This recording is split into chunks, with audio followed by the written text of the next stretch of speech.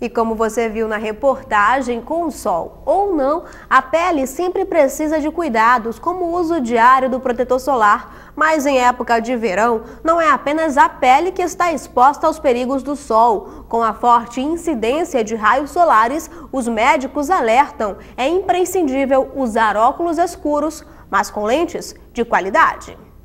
Rosana descobriu que tem problema de vista. Foram vários anos exposta aos raios solares sem usar proteção.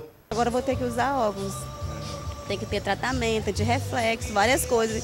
Se tornou caro para mim, porque eu não usava uma proteção, né? No período do verão amazônico, o perigo aumenta. Não é difícil encontrar nas ruas gente desprotegida. A gente sente sim, que fica muito claro. Dói a vista quando o sol está muito forte mesmo incomoda.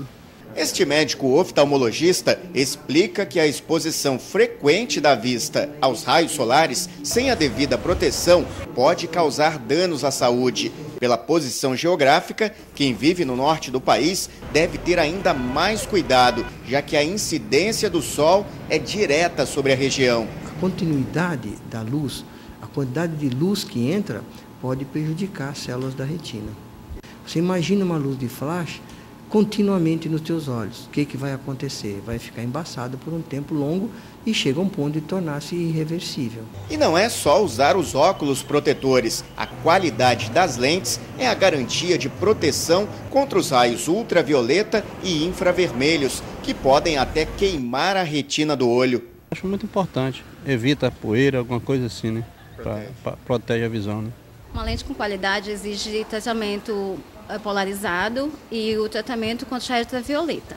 O polarizado é nada mais que tira o ofuscamento da visão, né? De repente, o reflexo do sol no para-brisa ou na, na água, né? E te dá mais nitidez de visão. As lojas especializadas renovaram os estoques para o verão. Modelos de todos os tipos para agradar a todos os gostos.